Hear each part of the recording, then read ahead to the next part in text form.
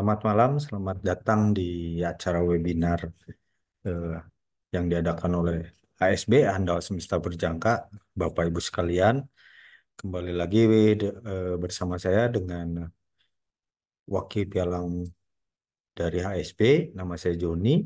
Nanti yang akan mengisi materi Market Advisor dari HSB itu Pak Michael. Nanti di, akan memberikan eh, apa mengupas ya, memberikan materi tentang rangkuman eh, trading di bulan Januari dan eh, proyeksi nanti market di bulan Februari. Nah, mudah-mudahan apa eh, webinar ini bisa bermanfaat dan bisa memberikan pandangan atau eh, arah eh, apa strategi Bapak Ibu sekalian ke depannya menghadapi isu-isu fundamental yang eh, akhir-akhir ini menjadi uh, mover ya bagi market. Baik, sebelumnya uh, kembali saya memperkenalkan apa itu pialang handal semesta berjangka yaitu pialang yang pialang lokal ya yang sudah terregulasi oleh Bapepti di mana uh, kami sebagai uh, broker atau apa pialang yang meneruskan amanat atau order Bapak Ibu ke bursa untuk dicatatkan apa yang memberikan fasilitas memfasilitasi perdagangan melalui aplikasi HSB eh, di mana memudahkan Bapak Ibu untuk bertransaksi mata uang, komoditas dan eh, indeks saham. Oke, eh, HSB sudah terregulasi oleh Bapepti, tentunya sudah aman dan juga menjadi anggota dari institusi-institusi yang eh, menjadi regula menjadi regulator perdagangan berjangka di Indonesia seperti Indonesian Clearing House dan bursa berjangka eh, dalam hal ini ICDX. Baik, eh, kembali ke materi yang akan kita bahas ke depan ya. Kita akan memberikan suatu apa eh, rangkuman ya dan apa namanya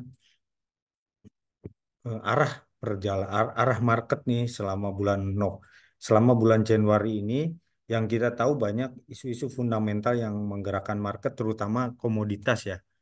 Nah, seperti oil dan uh, emas.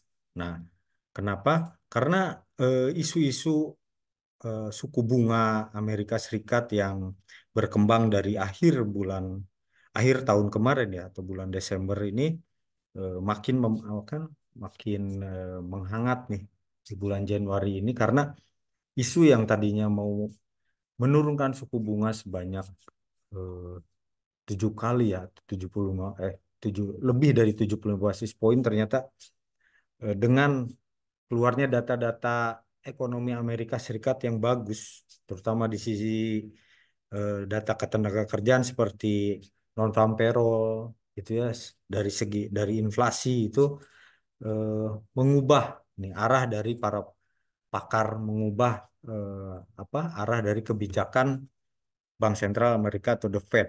Nah, di minggu kemarin kita juga mendengar apa beberapa pejabat penting dari The Fed itu bicara kalau misalnya penurunannya mungkin tidak akan seagresif seperti yang eh, dihembuskan sebelumnya.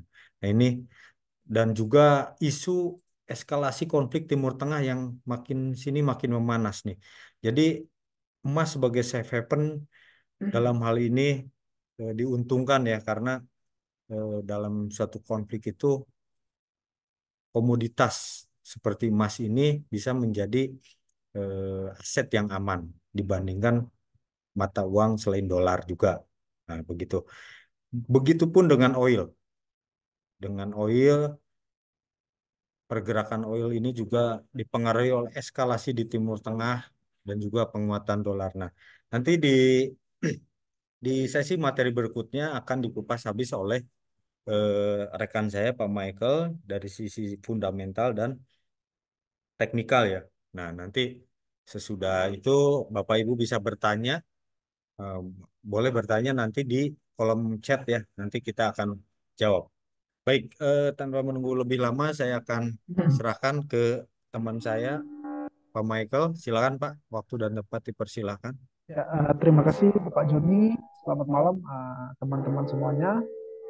Salam. Uh, malam hari ini kita akan membahas mengenai proyeksi atau rangkuman trading dan proyeksi uh, trading di bulan Februari. Kita akan membahas uh, tiga produk yaitu emas, oil, dan juga uh, indeks Nasdaq.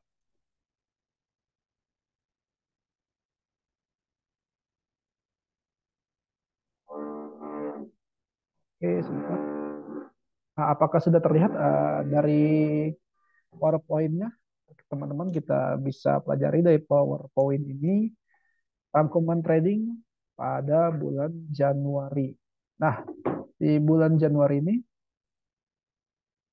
kita bisa melihat bahwa emas bergerak dalam zona konsolidasi bulanan. Jadi buat trader-trader yang swing, eh, emas berada dalam zona konsolidasinya. Jadi di bulan awal bulan ini sampai menuju akhir bulan, emas terus berada di level uh, range yang sama. Nah, sama juga dengan US oil yang bergerak cenderung dalam zona sideways karena minyak masih belum pasti nih akibat isu Timur Tengah yaitu blokade jalur perdagangan. Jadi kedua komoditas ini uh, terhambat pergerakannya oleh isu yang terjadi di Timur Tengah. Kalau emas terhambat oleh pergerakan dari Amerika Serikat sendiri itu di Timur Tengah, kepastian mengenai pergerakan Amerika di Timur Tengah itu mempengaruhi emas karena pergerakan Amerika selanjutnya mempengaruhi dolar dan ketika penguatan atau pelemahan dolar mempengaruhi emas. Nah, minyak terpengaruh oleh kondisi utama di Timur Tengahnya. Ketika ada blokade jalur, ada uh, perang di sana, distribusi minyak menjadi terhalang dan itu yang membuat para pelaku ekonomi menjadi bimbang dan bingung terhadap pergerakan minyak nantinya. Jadi kedua komoditas ini bergerak secara konsolidasi di level yang besar yaitu level bulanan sampai uh, tahunan. Karena di awal tahun emas dan oil masih sangat terpengaruh oleh ketidakpastian yang terjadi di Timur Tengah. Oke, kita lanjut. Nah, sejauh mana emas bergerak nih di bulan Januari? Emas bergerak paling jauh hanya turun 3, sorry ini bukan 30 persen, 3 persen di bulan Januari ke area 2000 389. Lalu mulai berbalik menuju level 2031. Dia sempat turun ke level 2003, lalu kembali lagi menuju level 2031.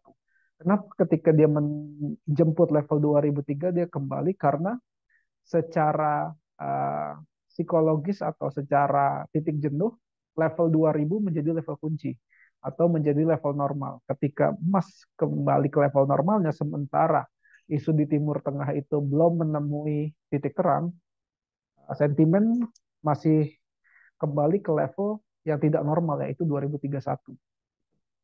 Oke. Nah, sebelumnya saya ingin memperkenalkan PT Handal Semesta Berjangka atau HSB Investasi. Pialang berjangka memfasilitasi perdagangan mata uang asing, saham, indeks, dan komoditas. Yang tadi sempat uh, dibahas juga sama Bapak Joni sebelumnya. Jadi saya hanya mau menegaskan legalitasnya juga, teman-teman bisa baca. Kita uh, berizin pada uh, jadi diawasi juga. Lalu kita juga merupakan anggota Indonesia Clearing House. Ini adalah sertifikasi dan penghargaan HSB yang teman-teman bisa lihat. Memiliki sertifikasi dan penghargaan yang sudah valid, jadi jangan takut untuk Uh, menjadi rekan, menjadi partner kita dalam melakukan transaksi di pasar forex dan pasar saham juga komoditas. Oke, kita menuju ke produk pertama yaitu rangkuman emas di bulan Januari dan proyeksi uh, di bulan Februarinya. Rangkumannya sudah dijelaskan tadi, uh, sudah saya jelaskan tadi bahwa emas dalam bulan Januari ini masih bergerak dalam level konsolidasinya. Jadi level konsolidasi besar akibat isu yang terjadi di, Timur Tengah. Bukan eh, kalau teman-teman mau membaca fundamentalnya bukan saja kalau emas bukan saja apa yang terjadi di Timur Tengah, tapi lebih berfokus pada apa yang Amerika lakukan di Timur Tengah. Gitu. Karena emas itu bersinggungan langsung dengan Amerika. Jadi kalau teman-teman mau membaca fundamentalnya, lihat apa yang Amerika lakukan di Timur Tengah. Berbeda dengan oil nantinya. Jadi isunya sama Timur Tengah, emas dan oil. Namun yang membedakan adalah siapa pelaku fundamental yang menggerakkan atau yang memberikan uh, pergerakan pada komoditas ini. Kalau minyak itu situasinya yang menjadi uh, penggerak, sementara emas itu pelakunya. Selama pelakunya Amerika melihat uh, pergerakan Amerika optimis di perang ini, kemungkinan besar US dollar masih akan membuat emas melemah. Namun, semua tindakan-tindakan yang diambil diambil oleh Amerika membuat emas volatile, jadi lebih berhati-hati. Karena setiap pergerakan Amerika, entah Amerika melakukan penyerangan, Amerika menarik mundur pasukannya, itu akan membuat emas naik dan turun. Gitu. Lalu proyeksinya di bulan Januari adalah ah, teman-teman bisa mengambil buy pendek pada level 2036 sampai ke 2080. Uh, ah, untuk selnya nantikan pergerakan pada zona 2006. Nah, uh, kita bisa lihat mappingnya seperti ini. Oke, nah, ini mapping pertamanya. Emas terlihat melakukan konsolidasi pada level 2020, di sini level 2020, sampai ke level 2030. Oke, ini menandakan sentimen pasar uh, masih sangat berhati-hati terhadap emas. Oke, teman-teman bisa melakukan buy pendek ke TP1 di 2060 bila harga menembus level 2031. Carilah entry buy bila penembusan harga terjadi dan harga membuat support untuk naik dan pola kenaikan. Jadi teman-teman ketika harga mulai lewati 2031 itu adalah uh, indikasi. Oke, okay? kita bedakan dulu trading plan-nya dengan pertama indikasi. Indikasinya akan naik. Lalu dia turun, membentuk support di sini misalkan lakukan support itu indikasi kedua indikasinya makin kuat dia akan naik di mana uh, entry-nya ketika dia sudah membentuk pola untuk naik yaitu apa entah pola falling wedge entah pola pen penan di level konsolidasi 2031-nya lalu dia menembus ke atas itulah konfirmasinya jadi uh, perhatikanlah pergerakan uh, emasnya di level 2031 untuk melakukan buy pendek ke level 2060.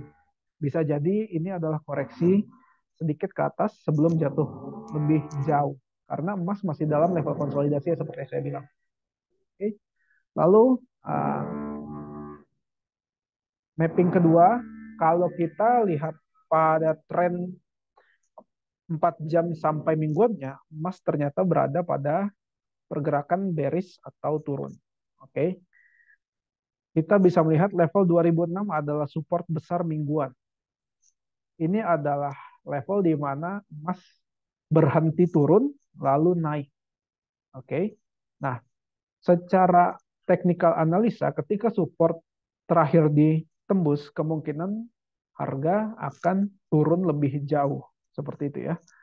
Nah, jadi potensi pergerakannya adalah bila emas meneruskan tren besar berisnya bisa melakukan sell setelah level 2006. Lalu lihat pergerakan harga selanjutnya. Dan bila harga masih menunjukkan penurunan lewat pola-pola pembentukan harga, harga bisa terus turun dan targetnya berada pada 1970 sampai 1980. Jadi untuk eh, teman-teman yang suka swing, tradingnya mingguan bahkan sampai bulanan, uh, nantikanlah emas ketika dia kembali atau dia menembus level 2006 karena itu menjadi level kunci mingguannya. Oke, dan biasanya level kunci mingguan ini uh, terdorong oleh isu di Timur Tengah, isu ekonomi Amerika. Jadi kalau kita melihat emas hari ini secara level konsolidasinya, berarti akan ada news besar yang akan mendorong emas itu sendiri. Oke. Lalu kita mulai ke US oil. Sama seperti emas tadinya US oil bergerak pada level konsolidasi mingguannya Isu fundamentalnya sama, tidak pastian yang terjadi di Timur Tengah. Nah, proyeksinya di bulan Februari, buy panjang berada pada level 75 sampai 94. Belum ada potensi untuk sell. Kenapa belum ada potensi untuk sell? Mari kita lihat. Oke, okay. uh, minyak mulai terlihat jenuh dan melakukan respect pada level 66. Kita bisa melihat di sini ada level 66. Oke, okay. ini adalah daily, trend harian. Berarti pergerakan besarnya ada pada mingguan sampai bulanan. Dan tren harian yang sudah melakukan respect pada level 66. Oke, level terendah sejak akhir tahun lalu. Mengindikasikan minyak bergerak naik bila berhasil menembus level resisten hariannya. Resisten harian sampai mingguannya berada di level 74. Ketika emas menembus, carilah konfirmasi bahwa emas akan meneruskan kenaikannya bila dia melakukan respect pada level 74 ini. Jadi ketika dia turun dan merespect level 74 ini, uh, mungkin teman-teman pernah mendengar resisten become support. Nah, inilah uh, yang dilakukan oleh harga resisten become support. Uh, itulah yang menjadi konfirmasi untuk melakukan kenaikan nanti setelah PPT kita bisa bedah langsung ke marketnya. Oke. Okay? Itulah itu proyeksi pergerakan minyaknya. Lalu rangkuman indeks Nasdaq, sorry bukan bulan Oktober, bulan Januari dan proyeksi di bulan Februari. Proyeksi Februarinya adalah sel panjang berada pada level 15338 sampai 14900. Potensi buy jangka pendek pada level 15425. Kita bisa melihat uh, ini pergerakan pertama atau uh, setup pertamanya yaitu Nasdaq terlihat jelas dalam tren yang bullish. Nasdaq terlihat dalam tren yang sangat bullish, sangat kuat untuk naik. Nah, carilah kesempatan entry pada bullish trend ini ketika harga melakukan break dan retest. Seperti tanda panah ini, ketika harga, ini harga terlihat sedang turun. Ini berada pada time frame 30 menit. Lalu carilah entry di zona 174.00. Eh, kenapa itu bisa dilakukan? Karena trennya sedang kuat-kuatnya atau sedang naik. Oke. Okay. Lalu bila teman-teman mencari potensi untuk sell, uh, berhati-hati karena Nasdaq bergerak dalam tren yang sangat kuat. Namun bila ingin melakukan counter trend, carilah kesempatan ketika Nasdaq mulai melakukan pelemahan dan salah satu indikasinya adalah penembusan pada minor supportnya. Jadi yang ini di hijauin, yang saya gak arsir hijau ini, ini adalah minor support. Support yang terbentuk pada kenaikan harga. Setelah support ini tidak ada lagi support, kecuali di bawah sini. Kemungkinan besar bila dia berhasil menembus ini, lalu dia merespek support ini, ada kemungkinan besar dia akan turun. Oke, okay? nah, jadi carilah setup-setup seperti itu. Nah, Oke, okay. adakah pertanyaan sejauh ini sebelum kita lanjut ke startnya langsung. Silakan Bapak Ibu yang mau bertanya dulu eh, bisa chat di kolom chat ya. Nanti kita bahas dan apa misalnya ada Bapak Ibu yang punya posisi juga kalau butuh advice eh, mungkin nanti apa eh, bisa di di chat ya bisa disampaikan di chat nanti kita bahas. Nah, eh, Pak, barangkali ada lagi nanti yang mau dikupas? Ya, uh, yang akan dilanjutkan adalah kalau teman-teman nggak ada pertanyaan, uh, nanti kita akan langsung, eh sorry, sorry. kita akan langsung menuju live chartnya. Kalau bisa tidak ada pertanyaan, kita langsung aja ke live chart. Oke, sudah terlihat live chartnya ya. Bentar.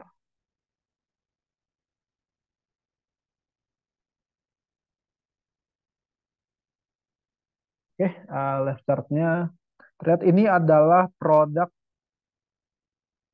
emas. Oke. Secara analisa, bisa melihat ini adalah satu jam. Kita bisa melihat di 4 jam.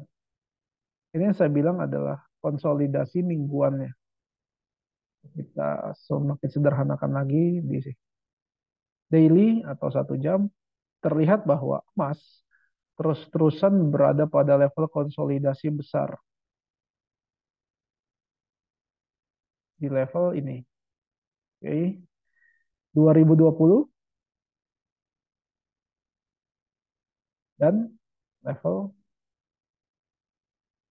2079 sekitar uh, itu zona konsolidasinya. Nah, kalau kita mau berkaca pada teknikal, emas terus-terusan merespek kedua level ini. Sehingga yang saya bilang, kalau teman-teman mencari sell pendek, uh, mencari trading jangka pendeknya, teman-teman bisa melakukan buy karena di hari ini emas berada pada level konsolidasi atau pada support 2020-nya. Di mana ketika dia berada pada level 2020, dia cenderung memantul. Oke, kita bisa melihat di bulan Desember tanggal 15 itu adalah pantulan pertama di level 2020. Lalu di Januari tanggal 8 sampai tanggal 10 itu adalah pantulan kedua, dia naik. Oke. Lalu dia menembus lagi di level di tanggal 17 Januari, lalu dia kembali lagi ke level ini dan mulai mengindikasikan kenaikan atau pantulan berikutnya ke atas. Makanya di trading tadi saya melakukan mapping untuk buy jangka pendek ke level 2056 sebagai target utamanya atau TP1-nya. TP2 ini adalah bonus kalau misalkan harga emas semakin naik.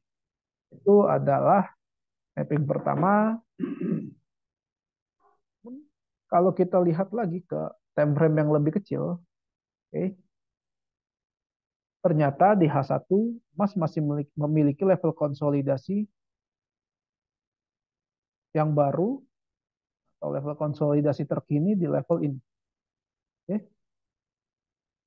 Di sinilah emas terus-terusan memantul. Kita bisa mengindikasikan uh, ini ini uh, ini adalah konsolidasi hariannya. Eh, sorry, ini adalah konsolidasi. Mingguan.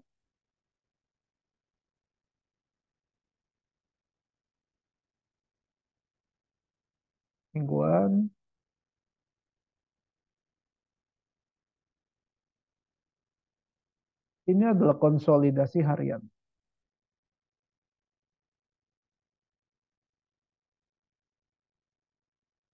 Eh, nah,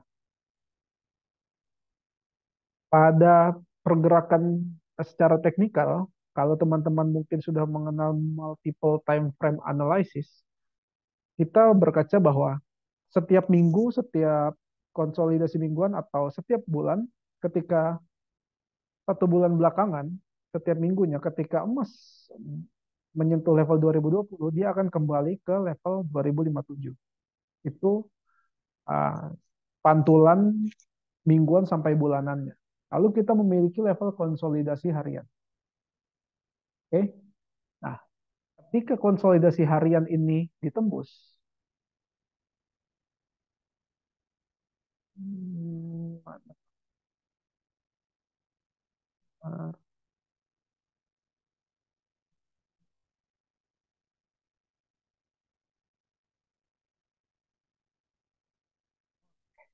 Ketika konsolidasi harian ini tembus, oke, okay,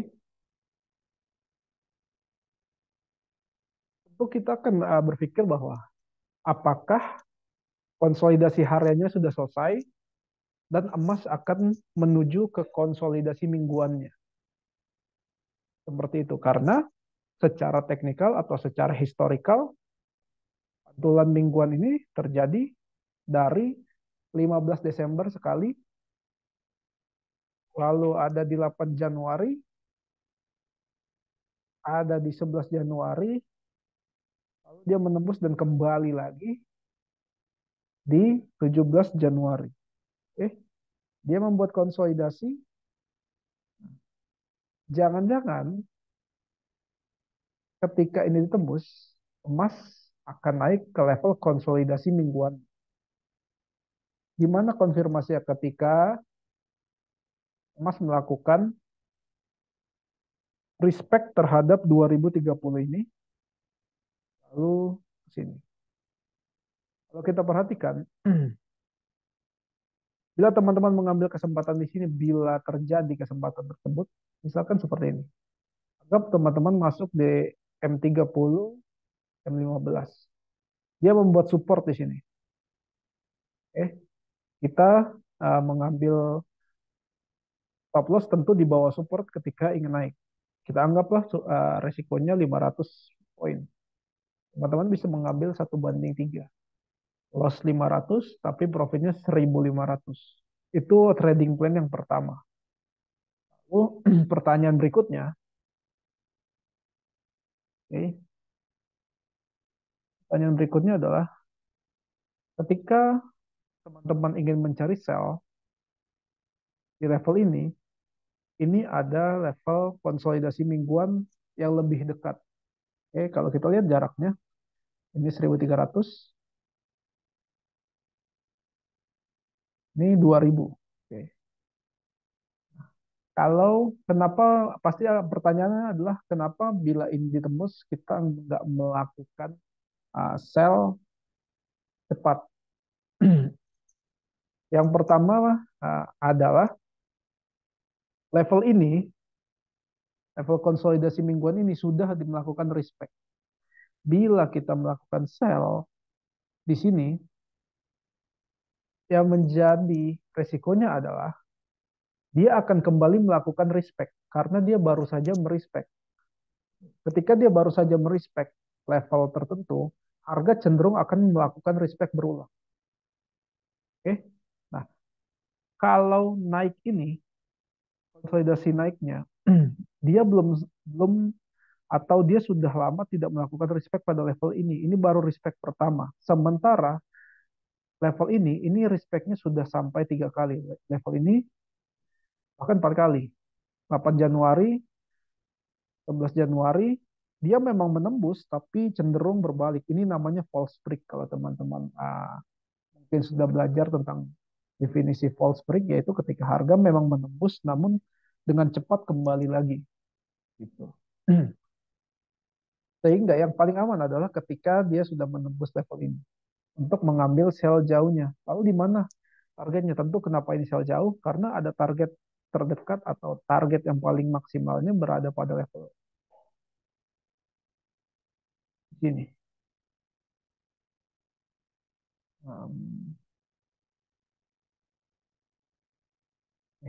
Gini. Ini ada jarak sekitar 2000 sampai 3000 pips. Level ini. Inilah konsolidasi terakhirnya atau sentuhan terakhirnya. Ini saya ingat banget ini FOMC. ini FOMC dan belum belum harga belum pernah menyentuh sehingga kemungkinan besar ketika konsolidasi mingguannya ditembus emas makin akan turun ke level 19 ini seperti itu trading plan pada emas itu sendiri. Kalau teman-teman mau bersabar, silahkan lihat konsolidasi hariannya. Mungkin besok, mungkin lusa bisa dilihat apakah emas akan tembus atas. Saran saya terus perhatikan level-level ini. Oke. Lalu kita menuju US oil.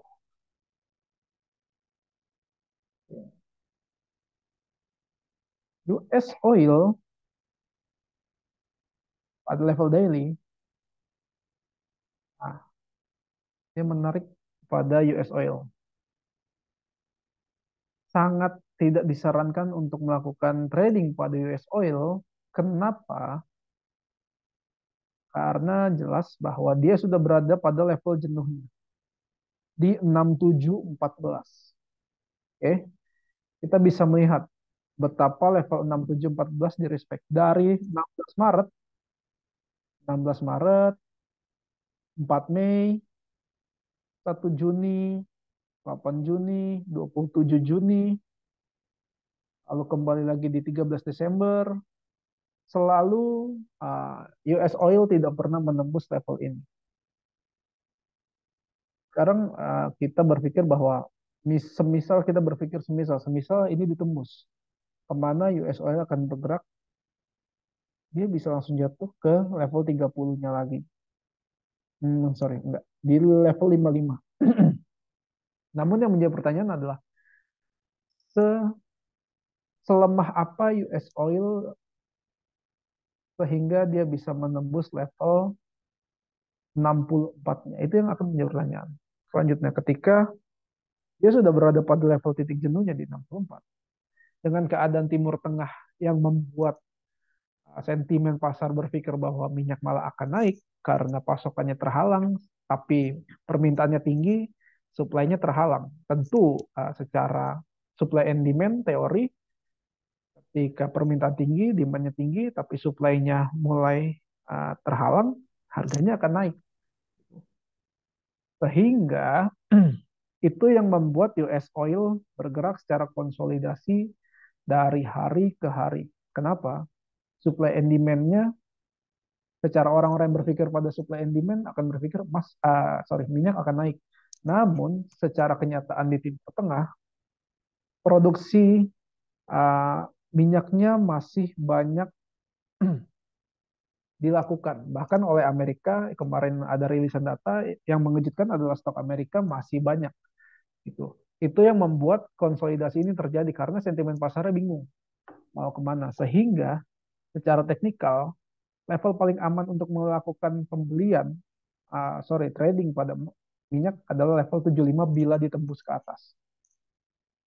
Atau sell di bawah 67 bila harga berhasil menembus level 67. Namun saya sendiri berpikir bahwa berhati-hati sekali karena bisa saja dia kembali ke sini menembus false break lalu ke atas. Jadi uh, buat mapping terhadap US oil teman-teman lebih berhati-hati. Kalau untuk saya sendiri saya lebih memilih dia menunggu harga close di sini. Melihat harga bergerak seperti ini, syukur-syukur ketika tepat dengan newsnya lalu karena sentimennya itu masih bingung gitu bahwa apa yang terjadi bila perang ini terus berlanjut, blokade terus berlanjut, sementara Amerika mengimbanginya dengan stok minyak yang masih banyak. Sehingga pergerakan minyak dunia itu masih secara harga ya, secara harga masih membingungkan. Bila minyak mau kita secara sentimen apakah minyak akan turun karena perang, tapi Amerika mengimbanginya dengan bahwa Amerika masih punya banyak stok masih punya banyak penyimpanan data, uh, penyimpanan minyaknya gitu. Jadi cadangan minyak. Jadi itu yang membuat akhirnya minyak itu konsolidasi dari hari ke hari bahkan sudah melebihi satu bulan ini dia melakukan konsolidasi level 64 sampai 74 seperti itu. Jadi mappingnya seperti ini. Mungkin penembusan atas, konfirmasi dan naik. Oke. Oke. Baik, barangkali ada yang mau bertanya dulu, tapi menarik begini Pak Michael. Jadi di, di dengan mapping tadi yang emas ya, terutama Iya, emas ini, yang apa, misalnya kita menunggu penembusan untuk breakout, eh, breakout selanjutnya untuk menentukan level buy. Iya. Menariknya didukung oleh eh, isu suku fundamental yang isu suku bunga ini Iya. kembali apa namanya eh, apa pemangkasan suku bunga tidak akan seagresif seperti yang dihembuskan di akhir Akhir apa, tahun. akhir tahun. Hmm. Jadi eh, jadi eh, kemungkinan untuk eh, pelemahan dolar ini eh, mungkin akan terjadi ya. Eh, Benar. mungkin akan terjadi dan mendukung harga emas terutama waktu nih, waktu untuk pemangkasan suku bunga karena beberapa pejabat eh, The Fed yang bicara kemarin di minggu kemarin itu yang sangat berpengaruh ya suaranya itu cenderung dovish ya, Yap. cenderung, cenderung dovish. Jadi mungkin ini suatu dorongan juga atau menjadi apa stimulus nih untuk pergerakan harga emas, terutama mendorong kembali harga emas eh, untuk naik. Gitu mungkin ya Pak. Ya, betul. Uh, kalau kita bahas isu suku bunga, di akhir tahun kemarin, uh, secara berurutan atau secara berulang-ulang, The Fed dan FOMC-nya memberikan suku bunga pada level 5,5 persen. Membuat uh, sentimen berpikir bahwa 5,5 adalah titik terakhir suku bunga dan selanjutnya suku bunga akan turun. Namun di akhir bulan ini, di akhir bulan Januari, The Fed memberikan statement yang mengejutkan para pelaku pasar bahwa kenaikan suku bunga masih akan bisa terjadi dan masih akan berlanjut. Itu yang membuat konsolidasi harian ini terjadi. Salah satu yang membuatnya. Karena sentimen pasar pun bingung, kita pun bingung. Ah, dengan 5,5 persen, ke mana lagi suku bunga akan dinaikkan? Gitu.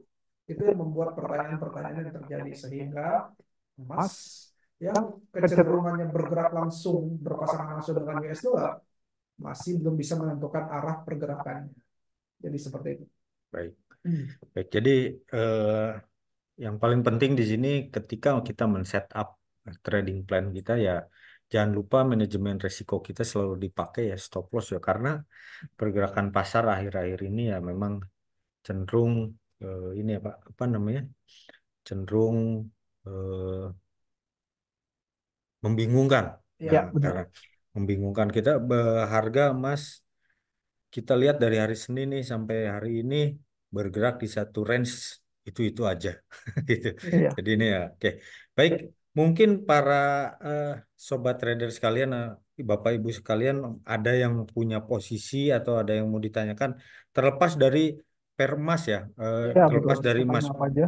Uh, per apa aja silakan bertanya di apa di kolom chat nanti uh, Pak Michael akan berikan analisa teknikalnya gitu ataupun uh, ada sobat trader yang ingin uh, buka posisi entry di satu pair silakan ditanyakan ya mumpung masih ada waktunya.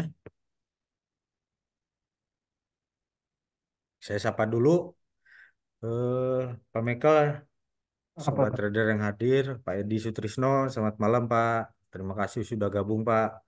Pak Kamarudin, Bu Ami, Bu Titik ya, Pak Nugra, Ibu Dorin. Nah, biasanya Ibu Dorin uh, ini banyak uh, kasih pertanyaan nih. Sekarang belum nih, Bu Dorin. Selamat malam Bu. Ya. Pak Randi, ya, Pak Arsyadi ya. Silakan. Silakan. Ya. Malam Ibu Dorin. Malam. Ibu Doren. Terus Ibu Doren tanya soal oil nih. Cuma lagi berhati-hati Ibu ya terhadap oil. Ya, adakah yang ingin tanyakan teman-teman? Kita bahas. Oh mungkin kita bahas Nasdaq tadi kan tadi Nasdaq. Ya, ya. Nasdaq. Hmm. Oke, ini adalah indeks Nasdaq. Nah, seperti yang saya bilang tadi, Nasdaq berada pada level atau pada tren yang sangat-sangat bullish, sehingga sangat berhati-hati terhadap indeks Nasdaq. Dan mapping yang saya buat sudah mulai terjadi, naik, atau uh, pergerakan naiknya tadi sekitar di sini. Sekarang mungkin sudah running sekitar, oh, 5.700 poin dengan SL 40.000 udah setengah perjalanan sampai ke level 20.000 lah satu banding dua karena trennya memang sangat-sangat naik sehingga hmm. untuk Nasdaq teman-teman harus berhati-hati bila ingin mencari sell memang counter trend itu risk reward rasionya besar namun yang harus teman-teman perhatikan pergerakan yang sangat kencang untuk naik kita nggak tahu terkadang bila belum ada tanda-tanda pelemahan, lebih baik ikuti trennya. Gitu. Karena ada istilah trend is your friend. Trend adalah teman. Gitu. 7500 mungkin yang bisa ini sudah telat jangan open Nasdaq karena sudah telat ini seperti ini mappingnya tadi saya cuma mau lihat mappingnya dan sudah mulai terjadi gitu. Kalau kita lihat PPT-nya, kita share screen. PPT yang terjadi.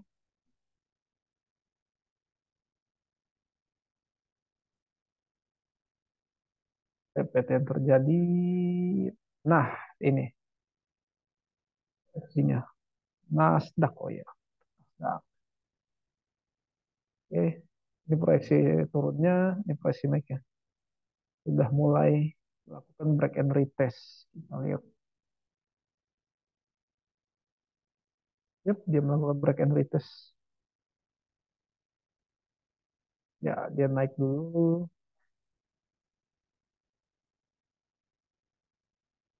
Hmm,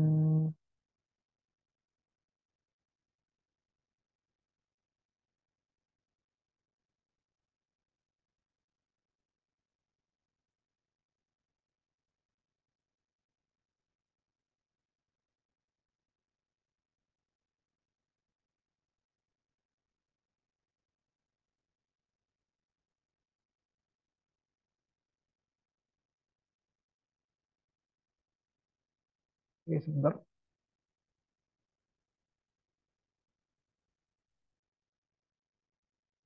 Inilah, sama seperti tadi, break and retest pada Nasdaq. Jadi kalau teman-teman melihat tren yang sangat kencang ini, seperti ini, teman-teman bisa mencari entry pada level-level M15, M30 untuk mengambil sedikit keuntungan. Karena kalau mau keuntungan jauh, teman-teman sudah berada di tengah perjalanan pada tren besar. Namun di tengah perjalanan tren besar, teman-teman bisa mengambil trade pada tren-tren kecilnya. Yang biasa disebut scalping, sama, uh, scalping biasa mengenal. Oke, ada pertanyaan dari Bapak Edi Sutrisno. Saya pemula Pak, bagaimana cara posisi eksekusi langsung di market untuk emas? Eh, mungkin maksudnya entry posisi gitu ya Pak ya? Pak Edi ya. Ibu Doren. Baik Pak, saya sementara apa oil. Iya. Lebih baik white and see dulu, Bu. Itu, eh, pertanyaan itu Pak, eh, cara entry mungkin. Cara entry, oke. oke. cara entry sebenarnya sederhana. Uh, Bapak harus melihat trading plan-nya. Seperti yang saya bilang, naik uh, di level 2031 ketika sudah menembus. Itu menjadi indikasi kebanyakan kebanyakan orang yang salah adalah ketika dia menembus level tertentu, dia langsung menganggap itu sebagai konfirmasi. Enggak. Dia menembus dulu indikasi pertama. Dia membuat support indikasi kedua. Lalu di mana konfirmasinya? Ketika dia sudah melakukan penembusan pada resisten yang dibuat. Misalkan teman-teman menembus seperti ini. Uh, levelnya. Oke. Okay. Kebanyakan orang salah ketika candle close di sini nih. Tutup. Dia langsung melakukan pembelian atau buy.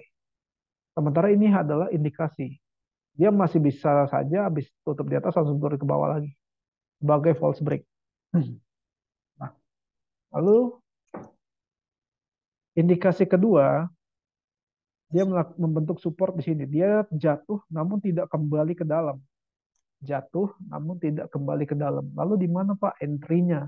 Kalau saya sendiri, entry-nya akan berada di sini. Oke.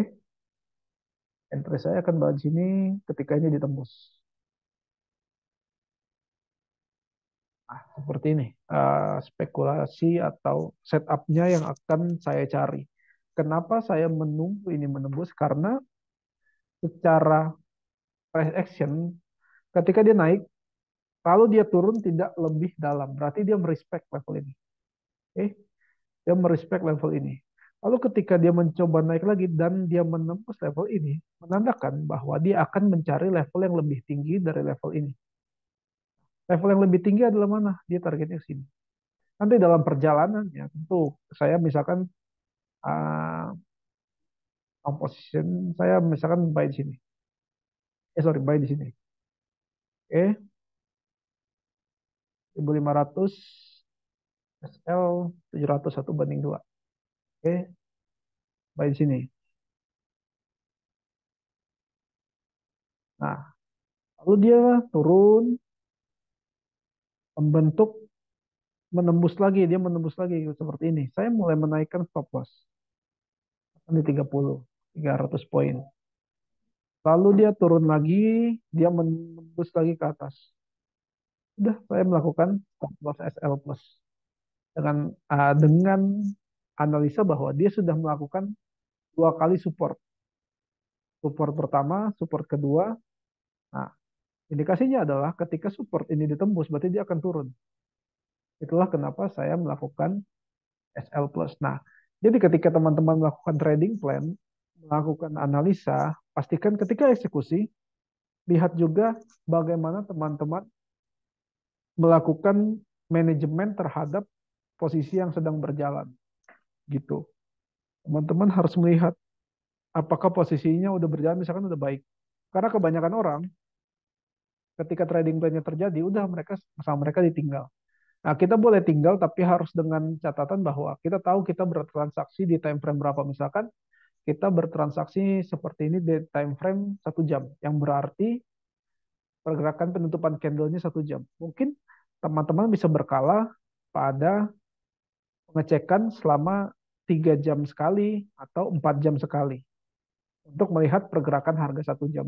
Begitu juga dengan 30 menit. Kalau 30 menit dua jam sekali, satu setengah jam sekali, 15 menit sejam sekali lihatnya. Jadi kenapa itu perlu dipantau? Karena memastikan bahwa pergerakan harganya sesuai dengan yang kita rencanakan. Bila tidak sesuai dengan rencana, apakah uh, melihat kemungkinan apakah kita bisa rugi lebih kecil daripada yang kita resikokan. Misalkan kita meresikokan sepertinya 700. Lalu dia naik, dia naik, lalu turun lebih jauh. Nah, ketika turun lebih jauh daripada ini, apakah kita bisa meresikokan uh, yang lebih kecil ya? Tadinya harusnya 700 misalkan di sini. Ya udah karena dia sudah membuat support, dia sudah melakukan penembusan, saya melakukan resiko hanya 400, menurunkan 300 poin. Sehingga sekalipun uh, terjadi loss, saya hanya loss 400 yang tadinya harusnya 700. Tapi ketika TP, saya menjadi profit rewardnya tadinya satu banding dua menjadi satu banding tiga. Seperti itulah uh, trading plan yang harus teman-teman rencanakan gitu. Jadi uh, bukan hanya sekedar melakukan eksekusi ya udah tinggal gitu. Tapi eksekusi tinggal memang buatlah rencana pengecekannya berapa kali. Misalkan teman-teman eksekusi di satu jam ya udah setiap penutupan empat jam saya lihat uh, udah bergerak baik belum. Kan empat jam sekali ya udah uh, eksekusi lalu tinggal. Misalkan teman-teman eksekusi di jam satu ya udah jam lima nanti lihat. Oh jam lima ternyata membaik. Uh, benar analisa mulai benar. Naikin aja SL dikit. Lama-lama Lalu jam 5, jam 9 cek lagi. Jadi ceknya berkala. Emang nggak selalu dicek, tapi ceknya berkala. Gitu. Itu yang akan membuat teman-teman mulai bisa memanage trading plan yang teman-teman eksekusi sendiri. Seperti itu.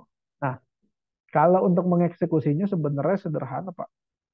Kalau secara teknis ya, secara teknis eksekusi ya ada di aplikasi IX kita ada buy atau sell. Kalau tahu Bapak pakai MT5 juga kelihatan ada buy atau sell. Itu kan hanya masalah eksekusi aja. Yang menjadi pertanyaan adalah ketika mengeksekusi apakah kita punya trading plan atau enggak. Seperti itu. Oke, ada lagi kah yang ditanyakan?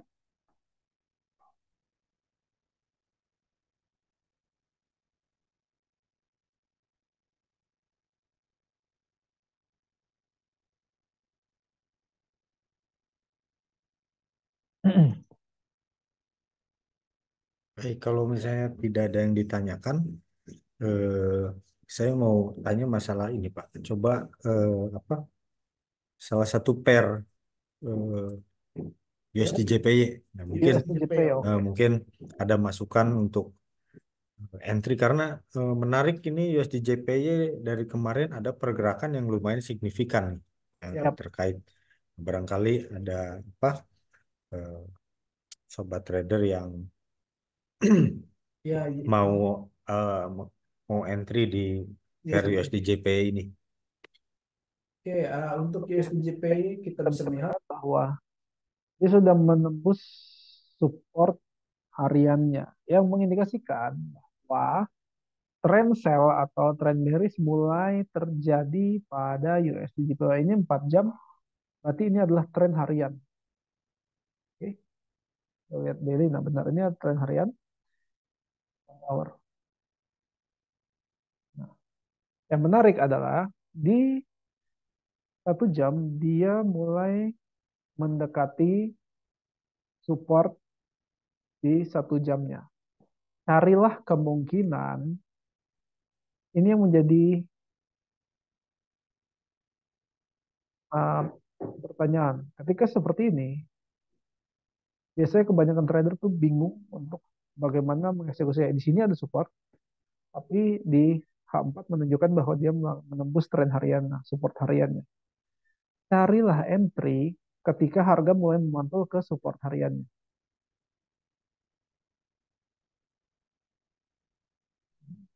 Seperti ini. Oke. Kalau yang mau agresif entry ketika resisten terbentuk di sini,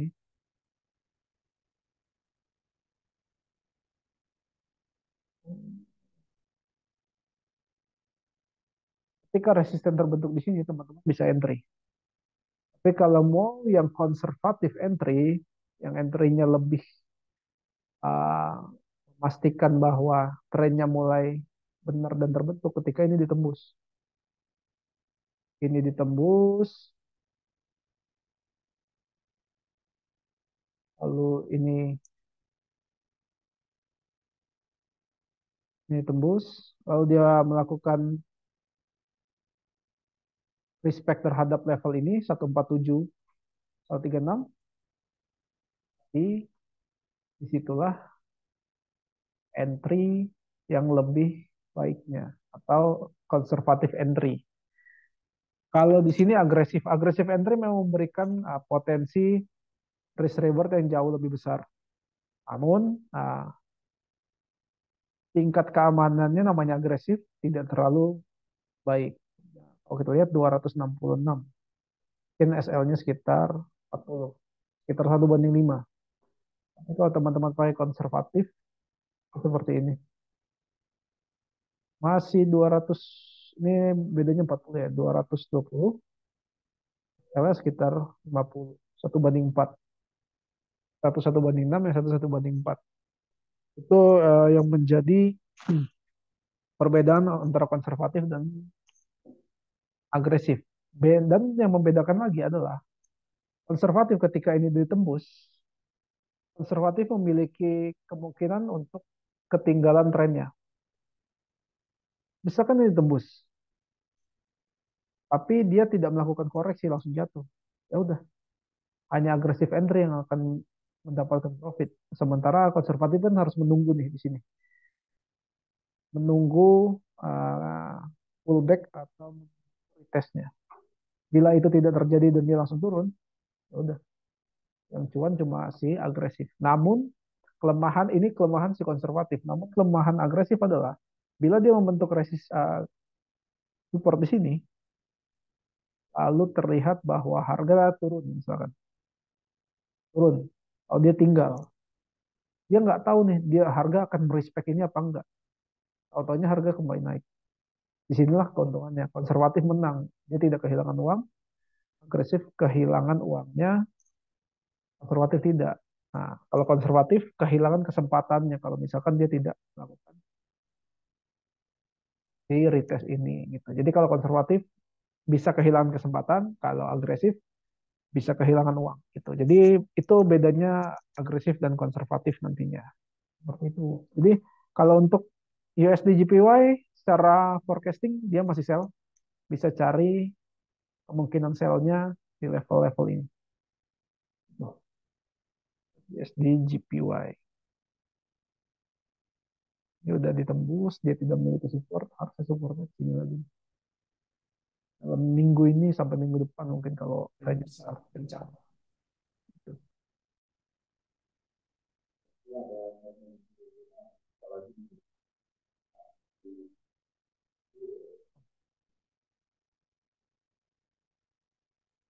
Oke, jadi mungkin kita ada kesempatan untuk ambil sel kembali di level 14750-an mungkin ya Pak. Ya, betul.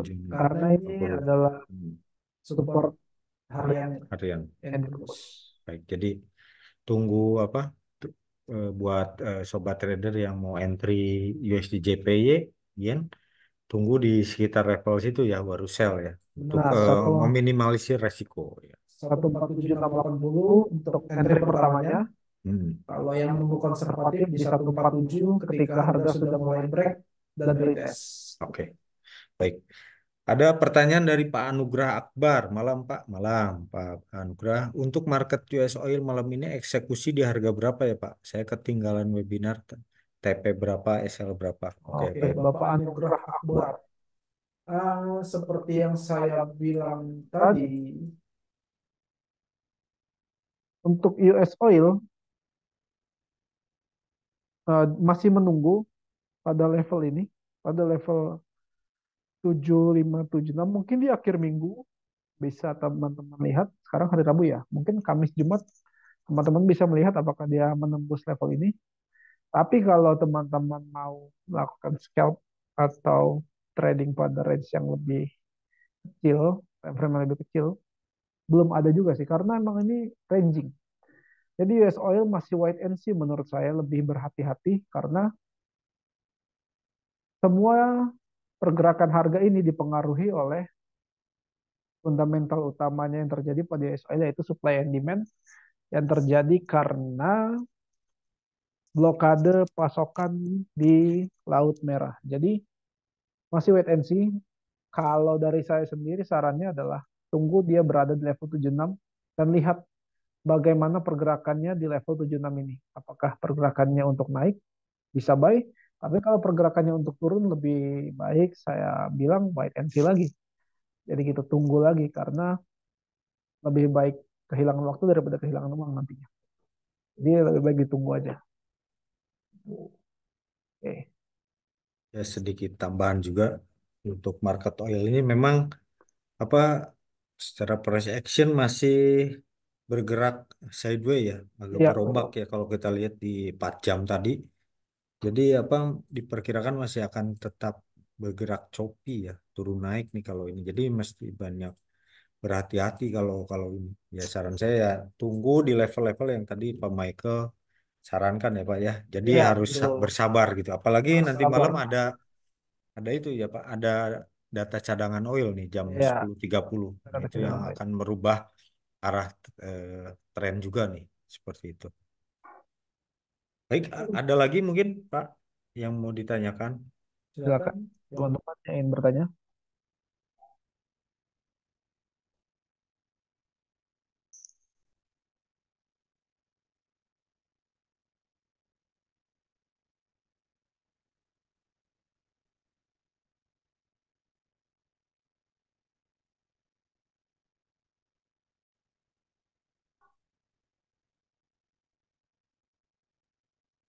Baik, kalau belum ada kita tambahkan lagi Pak Ya, untuk eh, proyeksi entry kembali di pair berikutnya mungkin apa tuh? ambil di pair euro ya Pak ya. USD. Pair euro USD ini menarik. Oke. Jadi apa eh, bisa menjadi referensi nih untuk teman-teman untuk entry di pair euro USD. Nah, untuk Euro USD, Teman-teman bisa melihat bahwa Euro USD berada pada pergerakan bearish. Bisa dilihat bahwa ada support yang tembus. ABCD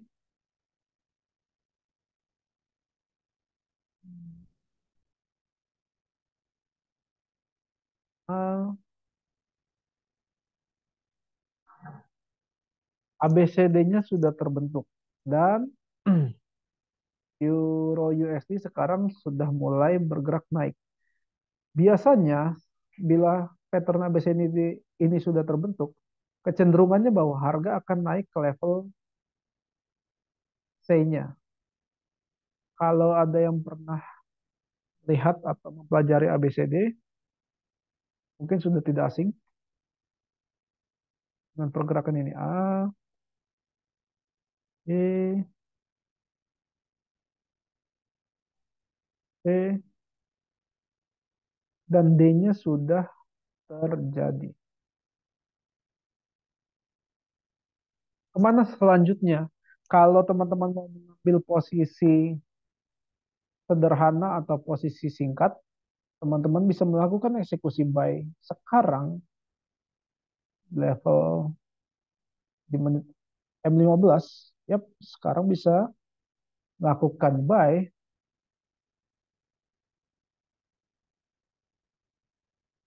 sini. Sekarang mau sekarang bisa tapi agak sedikit telat. Harusnya di sini. Dengan risk reward 16 40. Oke. Karena secara tren besar dia ABCD di H4. Oke. Kita bisa lempar ke time frame yang lebih kecil. Nah, M15 dia sudah melakukan ini adalah level konsolidasi sedikit. Break dan harap euro USD akan naik. Di sini adalah level support. Dia sudah melakukan false break. Dari mana saya bilang false break? false breaknya ada di sini. Level ini. Ya, close di bawah, lalu naik lagi. Yang menarik adalah dia melakukan close juga di atas support yang sudah terbentuk. Turun, false break, false break lagi, naik lagi. Sudah, saya dia naik ke atas di tren yang lebih kecil. Tapi kalau untuk melakukan eksekusi ini telat, harusnya tadi ketika ini sudah mulai di sini saya nggak merekomendasikan tapi kalau dibilang bisa bisa tapi SL gede dan risk rewardnya satu banding satu setengah mungkin untuk USD ini bisa dieksekusi tapi sedikit uh, telat sedikit ya sedikit telat. Euro USD.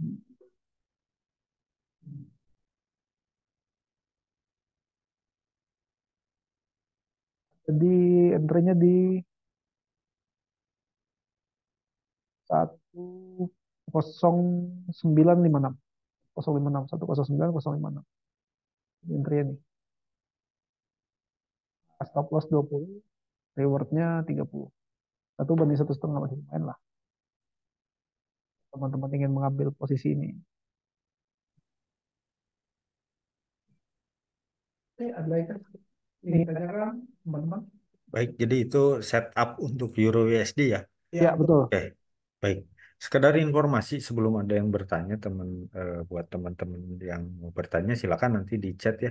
Se sebagai informasi untuk sobat trader yang mau mendalami analisa teknikal, eh, sedang ada waktu senggang, bisa memanfaatkan fitur edukasi di aplikasinya ya. Fitur edukasi silakan bikin apa janji one on one nih dengan uh, analis mentor kita. Nah, termasuk dengan Iya. Pak Michael atau dengan mentor yang lain, silakan buat janji nanti akan apa belajar khusus nih one on one dengan eh, para sobat trader sekalian. Nah, Nah. gitu. Jadi itu untuk mendalami eh, apa namanya indikator atau belajar technical charting seperti eh, Pak Michael yang tadi eh, diperagakan ya melalui chartnya. Nah, silakan itu silakan pergunakan fasilitas eh, fasilitas yang ada di aplikasi. Nah, ini sebagai komit komitmen juga HSP untuk mendampingi dan eh, memberikan pelatihan-pelatihan untuk para eh, klien-kliennya atau nasabah-nasabahnya. Begitu. Baik, ada lagi mungkin yang mau bertanya atau mau dimintakan setup atau apa eh, advice-nya untuk misalnya sedang ada open posisi apa, begitu. Silakan. Mumpung Biasanya- masih ada waktu nih.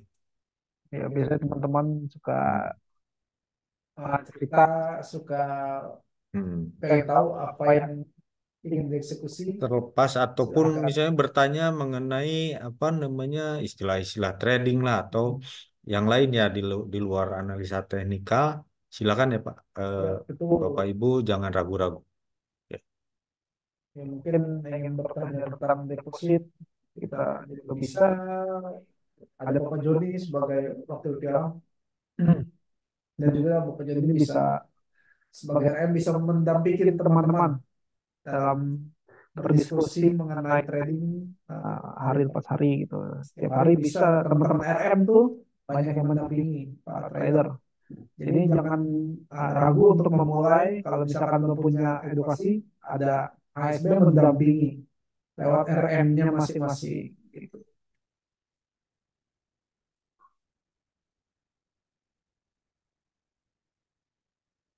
minyak mentah untuk posisi yang aman. Oke, kita balik lagi ke US oil.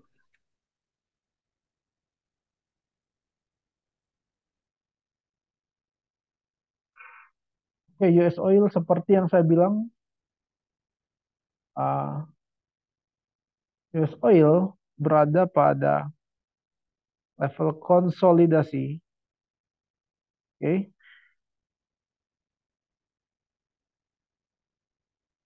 seperti ini. Kalau teman-teman atau kalau Bapak Ibu ingin tanya uh, level entry yang aman, saya perjelas.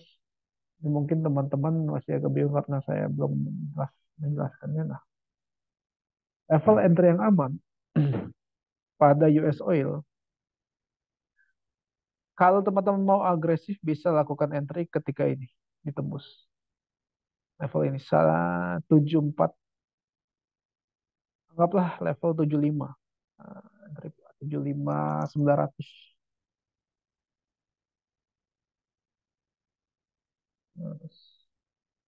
Oke, level ini tembus. Namun, kalau teman-teman ingin lebih aman, nantikan saja pergerakannya di hari Kamis atau Jumat ketika harga mulai melakukan break and retest ini kan uh, break sebagai pullback pertama. Kita nggak tahu apakah dia masih akan lakukan konsolidasinya atau enggak. Kalau secara mapping teman-teman entry sekarang berarti teman-teman berharap dia langsung begini. Setelah break. Dia langsung begini.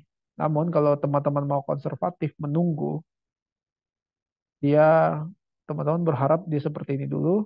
Level ini nih ini ada support kecil. Ini. Ini. Lalu mulai ditembus. Nah, di situlah entry-nya kalau teman-teman mau secara konservatif jadi semua pilihan kalau seperti yang saya bilang tadi konservatif uh, pilihannya adalah kehilangan momentum namun tidak kehilangan uang, agresif, dia tidak kehilangan momentum, hmm. bahkan dia akan mendapatkan momentum yang lebih baik, namun resikonya adalah prematur entry membuat dia bisa kehilangan uangnya atau terkena stop loss. Bila patternnya atau setupnya tidak terjadi. Jadi silakan, nah itu keputusan di teman-teman. Kalau saya sendiri lebih baik masih wait and see untuk US oil. Karena ini Memang ini adalah pullback ketiga.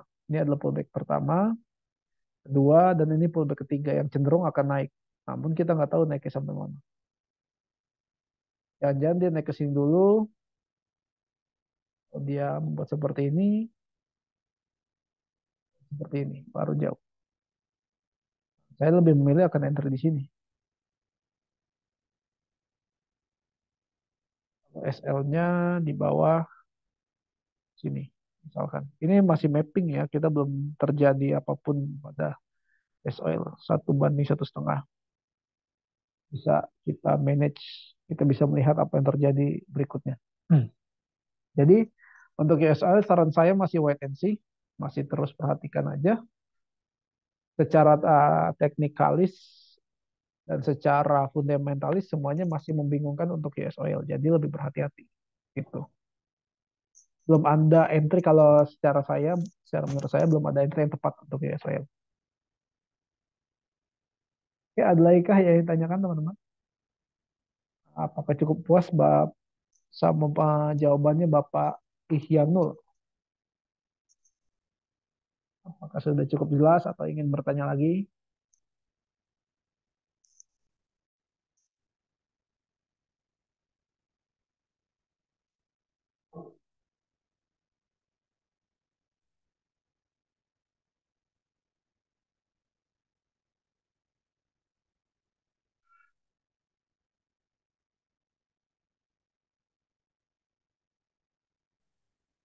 Mm-hmm.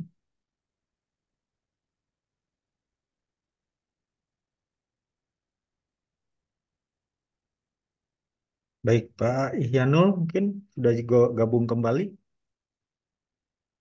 Tadi sudah ininya eh, apa jawabannya dari Pak Michael.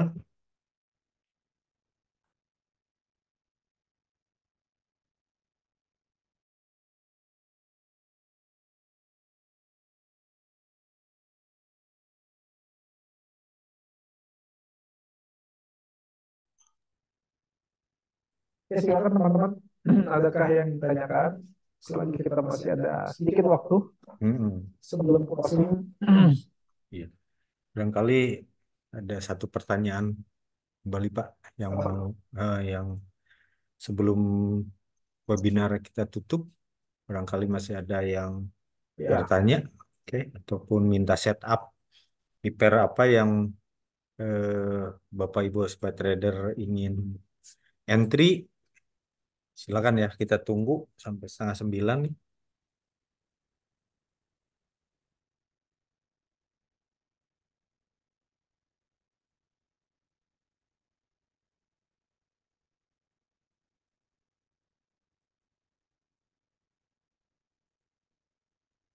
Oke, eh, dari Pak Agus nih.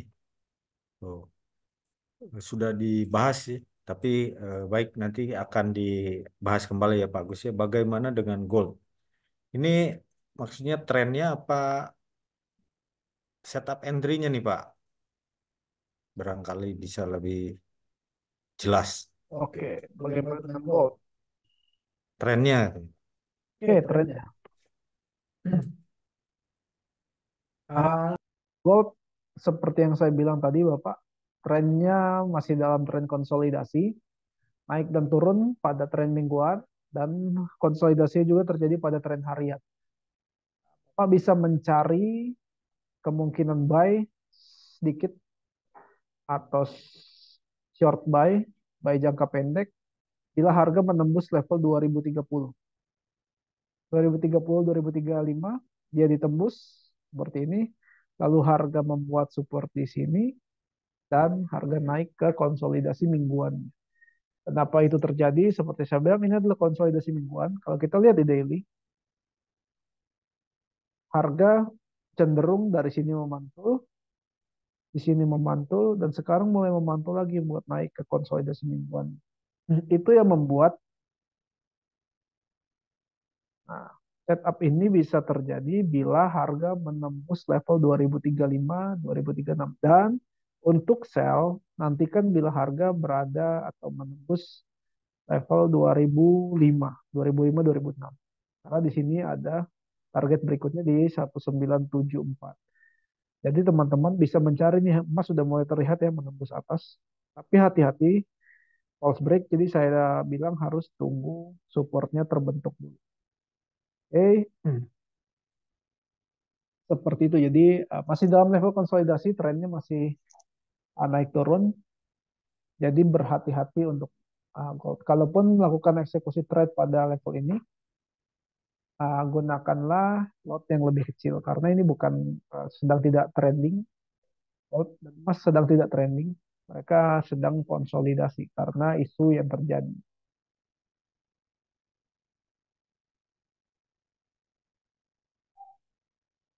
Maaf mas, sinyal terputus. Tadi open posisi yang bagus di US Oil. Open posisi yang bagus belum ada Pak. Di US Oil belum ada karena nah, masih konsolidasi. Semua per komoditas besar seperti US Oil dan emas masih konsolidasi. Jadi saran saya sih belum mengambil posisi. Itu yang saya bisa sarankan. Masih wait and see. Tidak mengambil posisi sama sekali. Masih menunggu menunggu level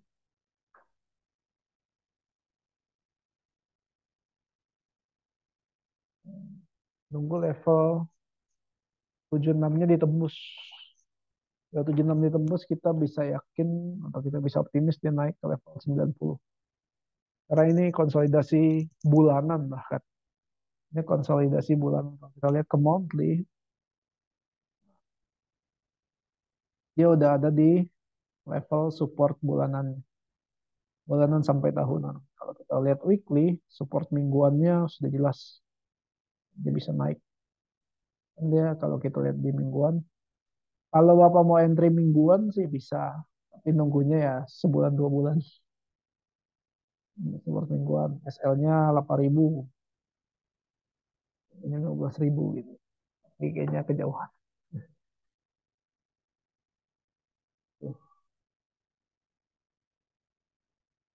Oke, ada lagi kah yang ditanyakan? Masih konsolidasi Pak. Jadi oil berhati-hati aja. Kalau saran dari saya berhati-hati untuk tidak mengambil uh. Kalau dari Bapak sendiri masih mau melakukan eksekusi, mungkin Bapak miliki analisa yang lain. Bukan. Tapi kalau dari saya tidak uh, tidak masuk pada oil hari ini karena belum terlihat jelas ke mana arahnya. Yang itu. Eh, ada lagi yang ditanyakan? Apakah sudah cukup Bapak Ihyano? Adakah lagi yang ditanyakan?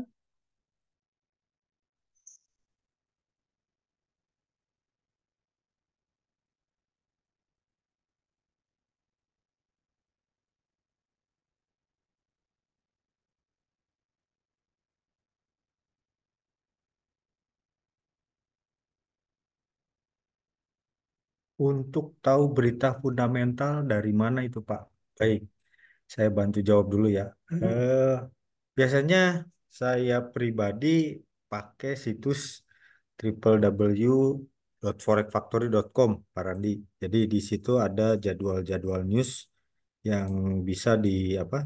Bisa di dilihat ya tiap harinya. Nah, itu merangkum berbagai uh, macam news dari seluruh dunia. Cuman di situ ada filter-filter untuk uh, apa namanya? Kita melihat bahwa berita yang uh, mana nih yang berimpact besar ke market ya, terutama dari Amerika. Nah, nanti di situ ada juga yang nah, itu seperti itu tampilannya. Nah, Bapak Ibu bisa lihat forexfactory.com. Nah, oke. Okay. Nah, di situ bisa lihat Bapak Ibu forecastnya berapa, previewsnya berapa gitu ya. Nah itu berita sampai eh, dengan jamnya lengkap. Nah ini ini bisa menjadi apa namanya referensi untuk data fundamental eh, untuk eh, berjaga-jaga ya atau antisipasi gitu Pak. Selain dari sini sih banyak ya di investing investing.com pun ada gitu ya di forex.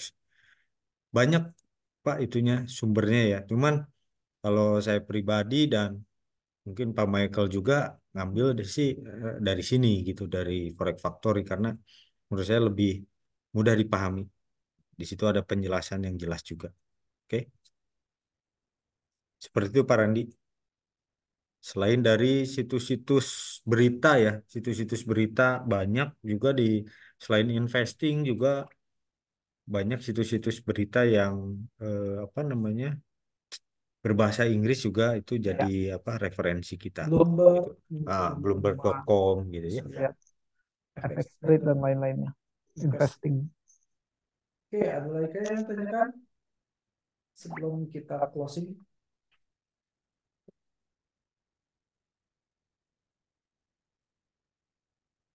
Gimana Bapak Randi, eh, apakah sudah cukup jelas apa yang disampaikan Bapak Joni mengenai situs atau portal. Ya, oke, sama-sama ya. Pak. Oke. Sama-sama Pak. Baik, Bapak Ibu sekalian, eh, mungkin kita sudah di penghujung waktu nih. Sudah selesai dengan apa namanya webinarnya. Terima kasih banyak nih buat Bapak Ibu Sobat Trader sekalian yang sudah join di webinar kali ini. Mudah-mudahan bisa bermanfaat, bisa menjadi acuan juga untuk setup uh, ke depannya ya untuk uh, apa namanya trading plan kita ke depan gitu karena di ke depan pun isu-isu fundamental ini akan terus ada ya. Nah, eskalasi yang di Timur Tengah pun bagaimana kelanjutannya mungkin nanti Bapak Ibu juga bisa langsung komunikasi dengan RM-nya masing-masing bertanya seputar market juga nah, dan sampai bertemu kembali di webinar selanjutnya di minggu depan dengan topik yang berbeda. Ya, silakan join kembali gitu ya dan eh, saya sampaikan juga eh, sangat-sangat terima kasih dan Bapak Ibu sekalian jangan lupa memanfaatkan fasilitas-fasilitas terutama tentang fitur-fitur edukasi di eh, aplikasi HSB dan juga promo-promo terbaru di HSB. Baik, begitu. Terima kasih Pak Michael untuk kasih, Bapak uh, untuk apa materinya. Mudah-mudahan bermanfaat bagi kita semua. Terima kasih Bapak Ibu. Saya mundur. Joni Udaya, Wakil Pialang dari HSB. Pak Edi, selamat malam. Terima kasih Pak Agus dan Bapak Ibu sekalian. Selamat malam. Selamat malam teman-teman. Terima kasih.